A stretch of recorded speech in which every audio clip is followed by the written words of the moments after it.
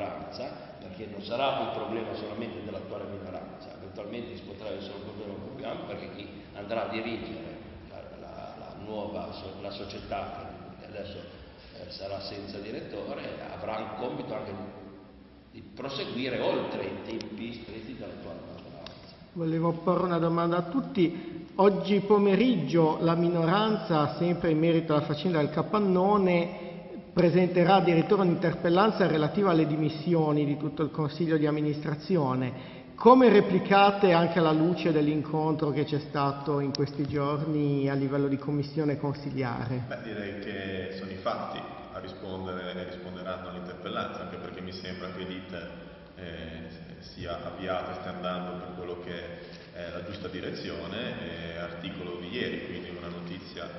di cui si può parlare, direi ufficiale, si sono ripresi i rapporti con, eh, con la società San Michele che venderà il capannone alla fine all'ambiente e ritirerà allo stesso tempo eh, l'azione fatta nei confronti della stessa società, quindi direi eh, nulla di fatto per quanto riguarda la minoranza, poi